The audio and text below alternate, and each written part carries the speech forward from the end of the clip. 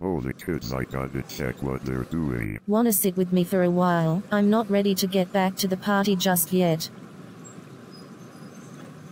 I don't think I ever really apologize. For what? For being gone all the time, for not coming back sooner. You don't need to apologize for anything. I'm just so happy you're here now. I don't think I could have handled losing you and my father in the same day. I'm so sorry about what happened. Thank you. I'm just glad I was able to forgive him. So what now? Back to the dance floor. I'm kind of danced out, honestly. After everything that's happened, the past few months I could use a vacation. Let's do it. Let's go on a Just the two of us. Anywhere you want.